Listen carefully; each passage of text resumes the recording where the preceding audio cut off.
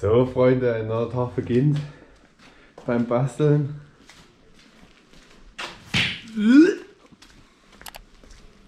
Ja, hier steht Horsti. Herrlich, es geht heute weiter. Seid gespannt. Ich habe neue Schwinglager besorgt. Die hat mir KDM Halle mitgebracht, äh, nach Leipzig. Einwandfrei, danke dafür. Äh, ja, habe jetzt noch das Heck hier. Neu da, mal gucken, ob wir so weit kommen. Wenn nicht, liegt es erstmal hier. Neuer Hebegurt, Haltegurt, wie auch immer. Genau. Radlager werden wir heute vielleicht noch machen, wenn es passt, zeitlich. Äh, auf jeden Fall Schwinglager, weil ich bin gespannt, ob das so klappt. Ja, genau, ihr seid dabei.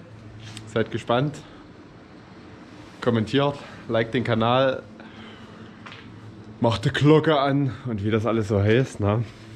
Hab noch ein geiles Rollbrett heute mitgebracht. Skateboard. Damit wir Forsti dann auch transportiert kriegen. Genau. Weil hier vorne ist es ein bisschen wärmer als hier hinten. Genau, dort ist ja auch die Heizung an. Und ja, Heck habe ich noch soweit zusammengebaut.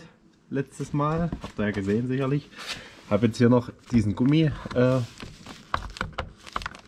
rein, also Loch gebohrt und reingemacht. Sieht man das? Ja, ist der Gummi. Ja, schon Ständer.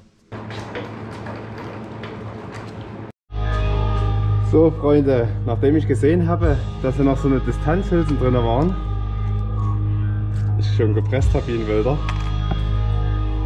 hat die Schwinge hier Anschläge. So kenne ich das auch noch nicht, aber KDM hat es scheinbar. Und ja, jetzt geht es natürlich einfach rauszupressen. Ne? Einmal frei. Also, ist doch kein richtiger Anschlag. Die sind einfach dünner in der Mitte. Hier seht ihr, wie kaputt die sind.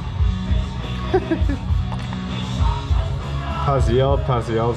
Na, also wie gesagt, alles neu. Habt ihr jetzt original gekauft von KTM, alles andere ist Quatsch.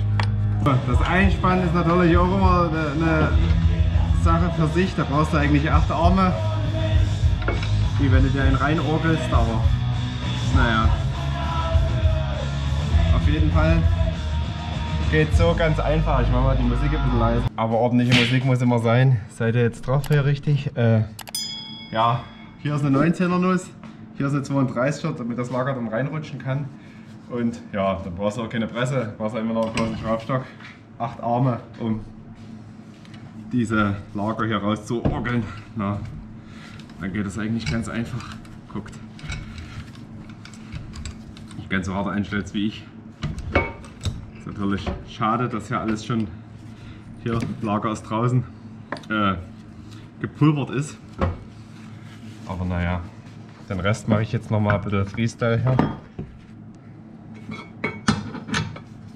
Ja, eh jetzt einmal gelöst, die Dinger. Sieht man das? Ich schwenke mal etwas runter. Gibt jetzt einen Hammerschlag drauf und dann sollte das passen. Wie gesagt, acht Arme, dann geht es natürlich besser. So, ist raus. Ja, mache ich jetzt alles ein bisschen sauber.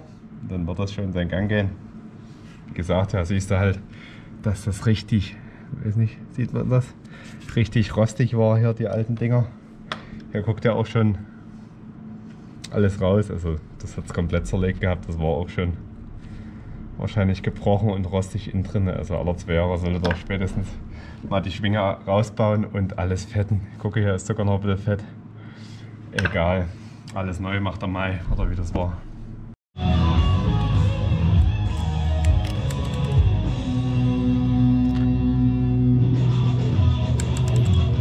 Wahnsinn. So, hier ist natürlich der neue Schwinglagersatz und der kommt jetzt hier rein. Die neuen Lager sind drin. Herrlich. Fettes Fett dran gemacht. Das neue, ja. Alles rot. Und so länger hält halt, ja. Neue Schwinglager sind drin. Bolzen passt auch wieder. Herrlich. Jetzt bauen wir den Rest noch an die Schwinge dran. Erstmal ein Käfchen die Küche ist neu. Man muss gucken bei der nächsten